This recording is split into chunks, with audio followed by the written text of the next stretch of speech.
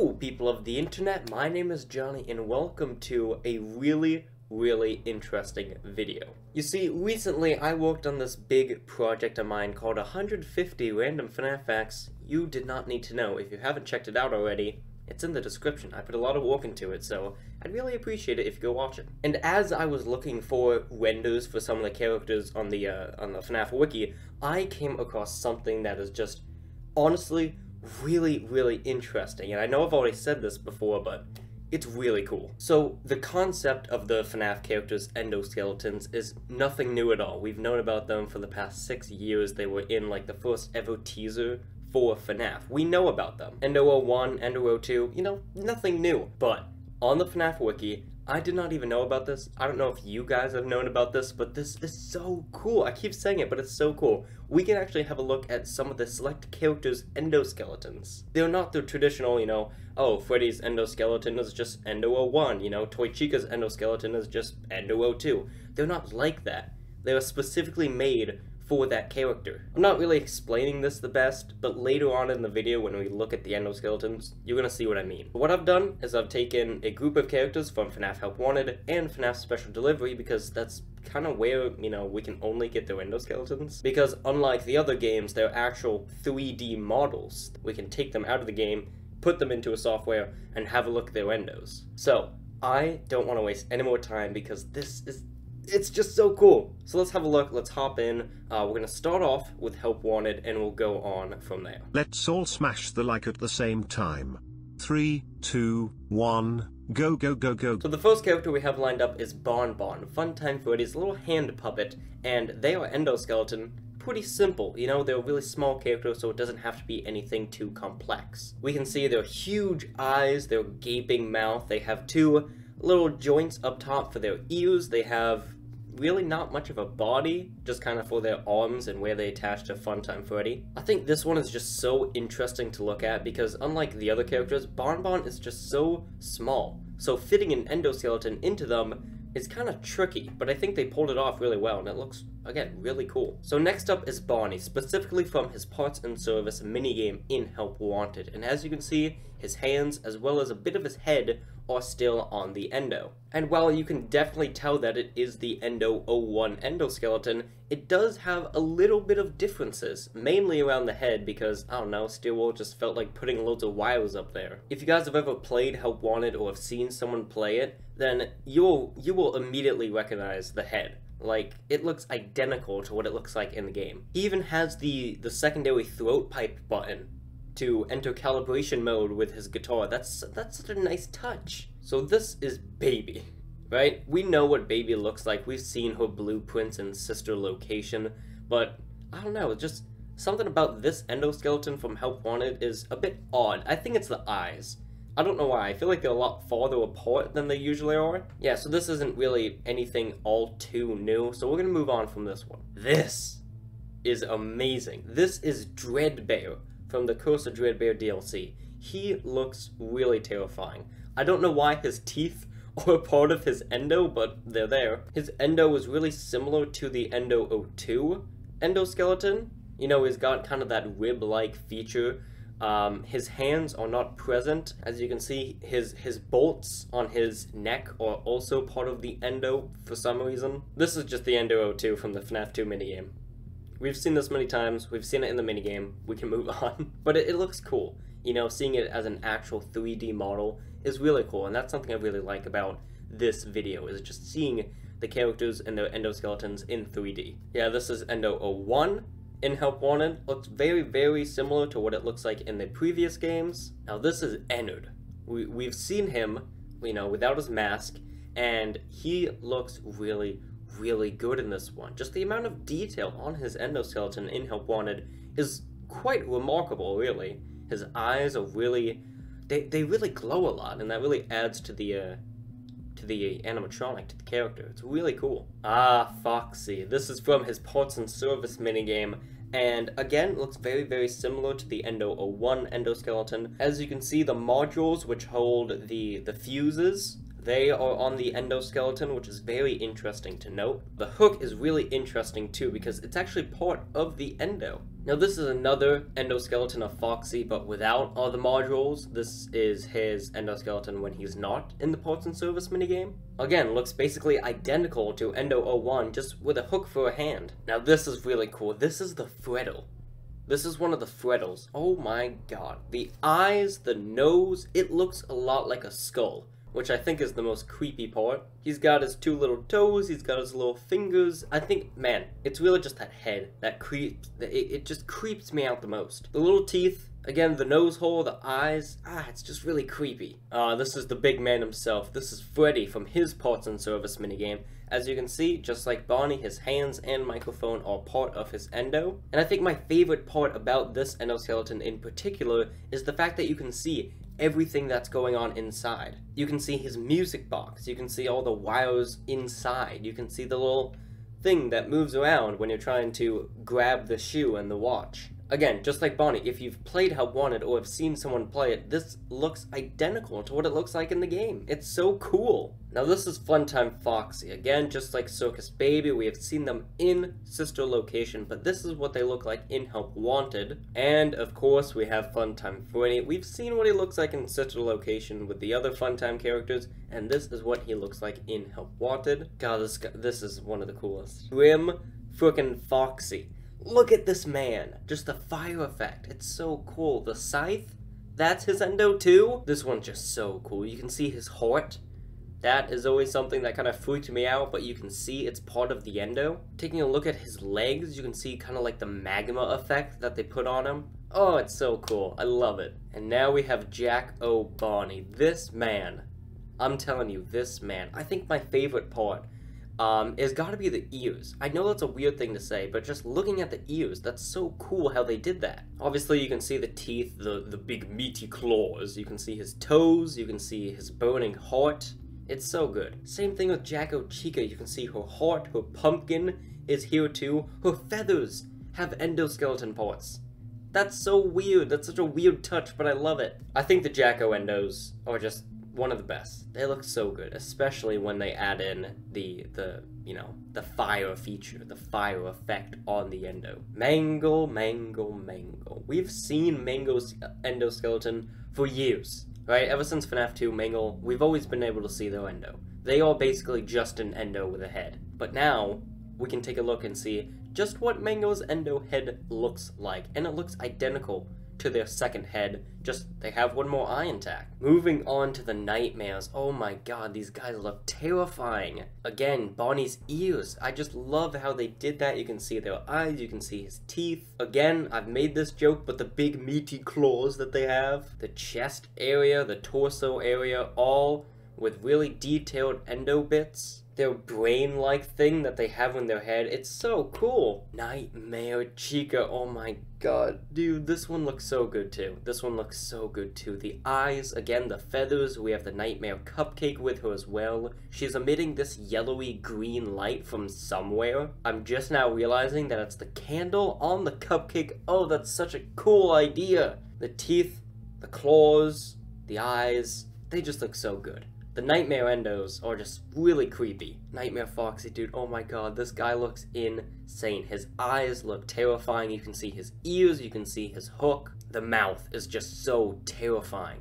The mouth, with the combination of the eyes, they make such a good combo of just terror. Now this is Nightmare Fredbear.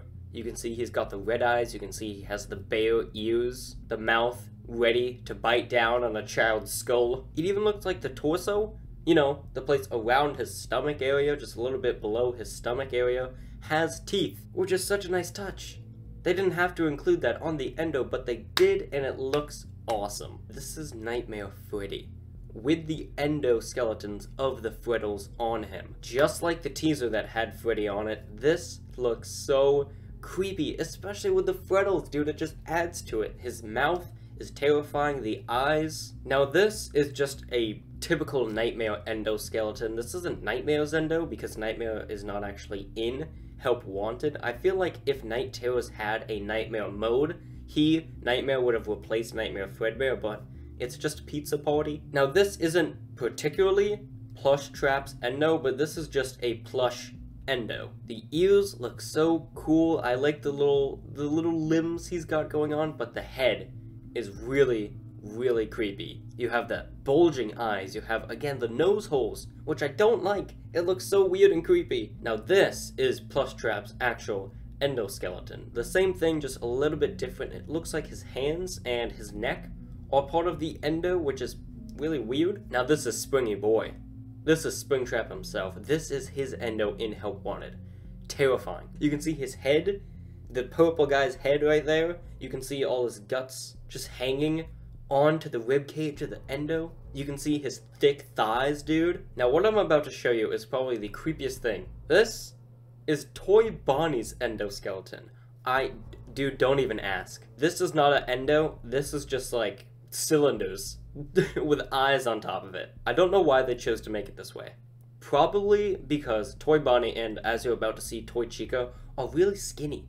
Like, you can't fit an endoskeleton into them. They're just really small and really skinny. So this looks creepy, but Toy Chica is even creepier. It's like they wanted to do an endo, but didn't really know how. The eyes with the eyelids are terrifying. The, the open mouth, even more creepy. I think it's just the fact that there's no endoskeleton here, but at the same time it is there. It's weird. Now, if you guys have ever played TJOC, right, the Joy of Creation, these next few are going to be really, really familiar. This is Withered Bonnie's endoskeleton. Right, it just, it looks identical to Ignited Bonnie in TJOC. Or just like one of the, uh, the Fallen Angel endoskeletons in TJOC. I don't know, man. It's just the similarity is uncanny. You can see the lack of a top jaw. You can see the arm that's been just completely cut off. Just the wires coming out everywhere, including the head. The red eyes. Oh, it's so creepy. This has got to be one of my favorites. This has got to be one of my favorites. Withered Chica. It's just the hands, man, that sell it.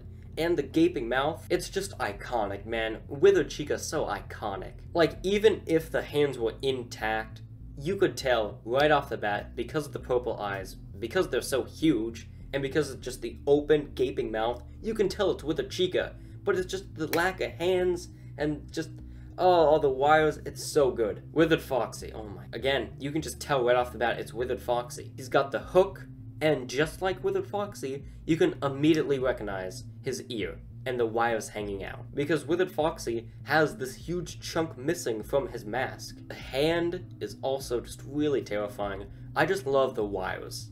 Man, I just love seeing the wires hang off of them. It's so creepy. Scott did such a great job when he made the withered animatronics. They are just so damn creepy. Now, while this may just look like a typical Endo 02 endoskeleton, because, I mean, that's kind of what it is, this is Withered Freddy. You can tell because of his eye color and because of the eyelids. But yeah, this is Withered Freddy. Not much to talk about because it is just a typical Endo 02 endoskeleton. And that is all of the Help Wanted ones. So now, we are going to move on to Special Delivery. Now, don't expect much of endoskeletons here. Of course, they're going to look like endoskeletons, but they're not going to look like your typical endoskeletons. You're going to see what I mean, starting off with Chocolate Bonnie. As you can see, it looks like an endoskeleton, but it's just different. The lack of fingers, the lack of feet, basically everything's there. It's just really simple. And of course, since Chocolate Bonnie has a bite taking out of him, they've put in an extra piece of endo just to fill up some space. This is Circus Baby. Again, they look identical to what they look like in Sister Location, what they look like in Help Wanted, so not really much to talk about here. Am I weird for thinking this? I know I said it last time when we took a look at Baby, but are her eyes always that far apart? Now this is just your typical endoskeleton, Endo 01, but he's damaged. You can't really tell, but if you look at the head, you know, you look at the eyes, you can tell, alright, this is Endo 01 when he's at 0% in the workshop. Easter Bonnie, he's up next. As you can see, I think one of the things that stuck out immediately is the fact that his Easter, you know, his Happy Easter tag is for some reason part of his endo. And another thing you may notice is his complete lack of a chest area. That's just kind of taken out.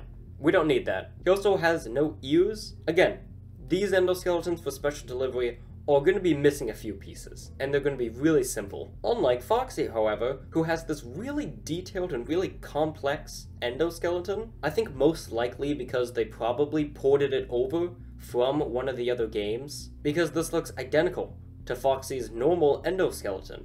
Unlike some of the other special delivery endos, which again are really simple, they're really plain, they're missing pieces, this one's all there and really detailed. Hey, speaking of really simple, plain, and missing a lot of pieces, Freddy Frostbear is a perfect example of that. Not only is he missing his entire head, his ears, he is also missing, once again, his chest. He has no feet, he has no fingers, and for some reason his icicle is part of his endo? I think this one's really cool to look at because it's it's all blue. Also the eyes. I never really took much appreciation to his eyes, but damn do they look cool. Now this one you will recognize because this is the most recent character added to Special Delivery. Actually, our most recent character is Flamethrower Bear Endo. Bro, shut the hell up. I recorded this before he came out, alright? So he's not gonna be on. Also, have you smashed the like yet? For me? Oh, It's Liberty Chica. As you can see, Liberty Chica is I mean, not really much of an endo. If you want to talk about missing parts, I know I said Frostbear was a good example, but I think Liberty Chica takes takes the cake, takes the cupcake, which is ironic since their cupcake is not there. Something that's interesting is that their endoskeleton is the exact same color as their normal suit. Ah yes, we return to Mangle.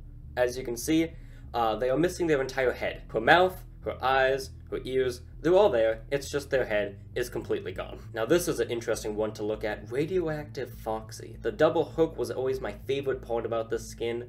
The yellow glowing eye is also really cool, and it's just the overall material that they used for the endoskeleton. You know, just like the skin, it's green, it's glowing, it's radioactive. Shamrock Freddy is also missing a lot of pieces. I know, I know, it's it's a theme throughout special delivery. I've said this many times. Shamrock Freddy also basically has no endo. right? He's missing his head, he's missing his chest, he's missing his fingers, his feet. Again, endoskeletons in special delivery, really simple, really plain, missing pieces. You can see his microphone and his golden chain are for some reason counted as his endoskeletons. I will never understand why accessories like that are counted, but they're there. And then we come to Afton, our boy, again with the creepy looking eyes, his gaping mouth, his rotting skull, the guts just clinging on to the endoskeleton, and of course, dem thick thighs. Toxic Springtrap is basically the same thing, except, you know, he's a bit more of purple guy. This is so fascinating to look at. Because if you guys have seen regular Toxic Springtrap, this is basically what he looks like. So it's interesting that all of that, all of the bubbles and all the purple stuff is counted as his endo. You can see it's just taking over his entire endoskeleton. And much like Help Wanted, Toy Bonnie and Toy Chica basically have no endoskeleton. Here's Toy Bonnie, as you can see, again, their skins, their character, their suit is just way too skinny to have an actual endoskeleton put into them, so I guess the makers of the games just resort to filling it in with weird cylinders. It's really weird to look at, just seeing the the really detailed eyes on basically nothing. His ears are there, I guess you can say, but they're not really. As you can see, this is the one where they have no eyes. This is the one where they take out her eyes. And it's just, ugh, it's so creepy to have it on basically nothing. She has no lower jaw. Where did her jaw go? So that was the endoskeletons of some of the characters in Help Wanted and Special Delivery. I told you, it's gonna be really cool, but also really creepy. This was so cool. This was so fun to do. Hopefully you guys had fun too, because this was just so cool to look at. Some of the behind the scenes of the games. So yeah, that was that. Hopefully you all enjoyed. You can find all of these on the FNAF wiki. Feel free to roam around there. It's actually a really fascinating place. So, thanks for watching, and I'll see you all on the flip side. Goodbye.